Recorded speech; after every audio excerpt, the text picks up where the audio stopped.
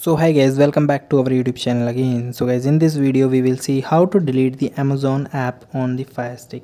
So guys if you want to delete the amazon app from the fire stick so guys it is very simple. So guys first of all you can go to the settings. In the setting option you can go to the my fire tv not in the applications.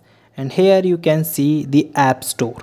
So app store uh, shows all the application which are using by the amazon fire stick and which are installed by the amazon fire. So you can click here and here you can app is in purchase and manage install app.